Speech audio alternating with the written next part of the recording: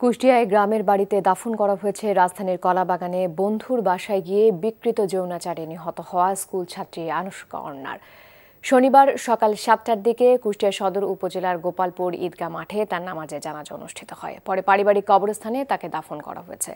দাফন শেষে তাৎক্ষণিকভাবে হত্যাকারী দ্রুত দৃষ্টান্তমূলক শাস্তির দাবিতে মানববন্ধন করেন স্থানীয়রা। মানববন্ধনে স্কুল ছাত্রীর বাবা আলামিন আহমেদ, ছোট ভাই নিভান সহ আত্মীয় স্বজনরা উপস্থিত ছিলেন। গত বৃহস্পতিবার দুপুরে বন্ধুর বাসায় গিয়ে বিকৃত যৌনাচারের শিকার হন মাস্টার মাইন্ড স্কুলের ও লেভেল পড়ুয়া ছাত্রী আনুষ্কা। পরে হাসপাতালে নিয়ে গেলে চিকিৎসক তাকে মৃত ঘোষণা করেন। এ ঘটনায় তানভীর ইফতেখার দিহানকে আসামি করে কলাবাগান থানায় মামলা করেন নিহতের বাবা।